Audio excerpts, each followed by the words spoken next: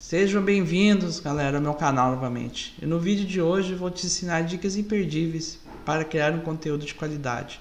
Serão dicas super rápidas para você que quer aprender a fazer um conteúdo de qualidade para a sua audiência. Fique ligado nessas dicas. Olá, sou Silvio Luiz, empreendedor digital com foco no marketing de afiliados. Se você procura um canal com muito conteúdo sobre YouTube e outras redes sociais, você veio ao canal certo. Já aproveito para te pedir para você se inscrever no meu canal, clicar no sininho para você receber sempre notificações sobre os próximos vídeos.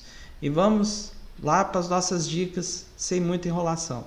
E hoje é muito importante esse vídeo porque eu vou apresentar para vocês todas as dicas que eu tenho para vocês fazerem conteúdos de qualidade, conteúdos que o seu avatar procura, conteúdos que o seu público-alvo procura que deseja, conteúdos que serão achados no YouTube, no Google e qualquer local de pesquisa que existe na nossa rede.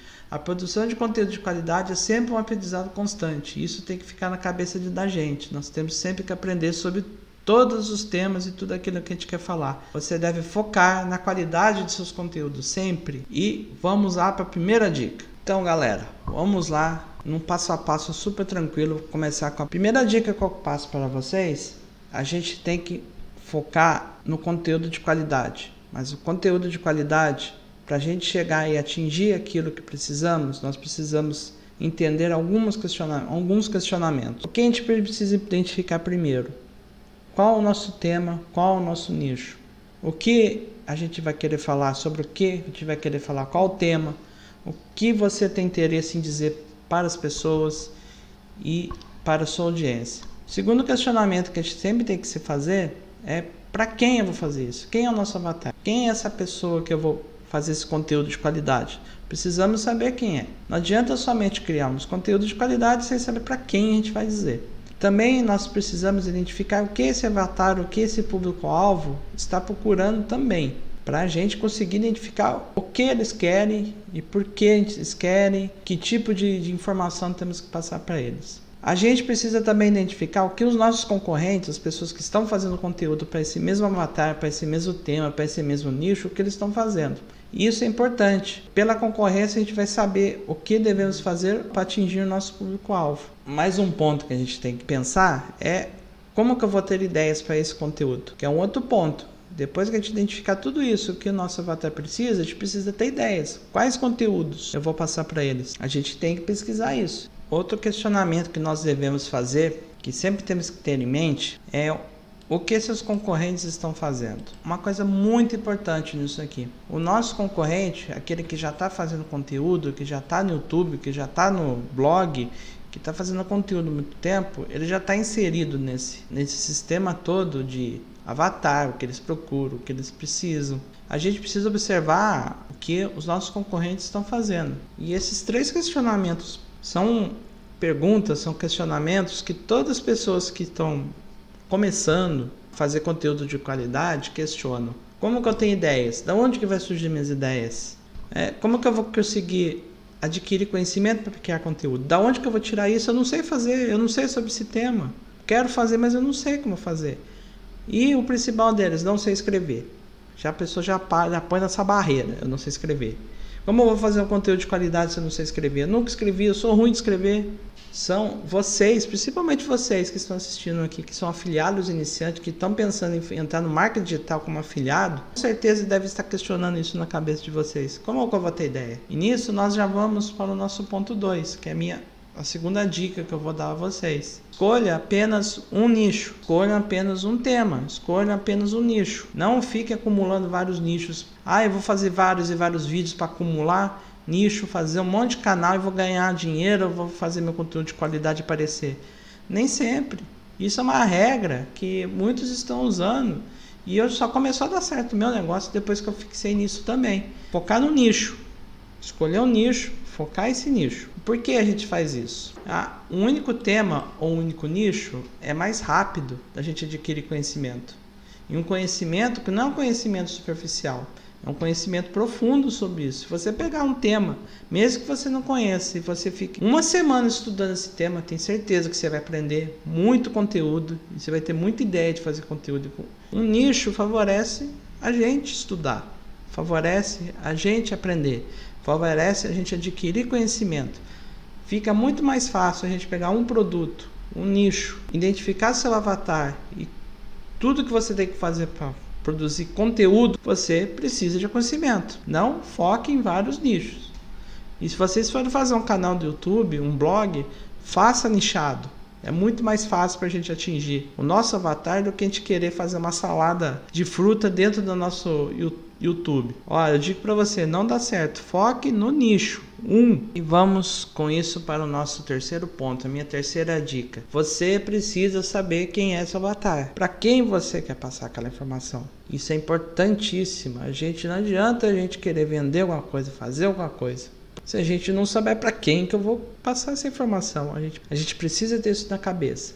Porque você identificando o seu avatar, você vai identificar suas dores, você vai identificar seus problemas, você vai identificar aquilo que ele está procurando, aquilo que faz ele entrar no YouTube para pesquisar, que faz ele entrar no Google para pesquisar. E o nosso intuito de criar conteúdo é a gente ajudar a resolver essas dores. É isso que a gente tem que fazer. O nosso propósito é esse, porque se a gente atender aquilo que o nosso avatar quer, aquilo que ele está procurando, com certeza ele vai parar, vai perder seu tempo do dia para poder ver seu conteúdo. Então a gente precisa fazer um conteúdo pensando no avatar, sabendo resolver as dores dele, sabendo resolver todos esses problemas dele, com certeza ele vai gostar muito do seu conteúdo. Então a gente tem que ter inteligência, focar em ajudar a resolver o problema das pessoas. E vamos logo para o nosso ponto 4, a minha próxima dica, palavra-chave. Palavra-chave nada mais é do que aquilo que o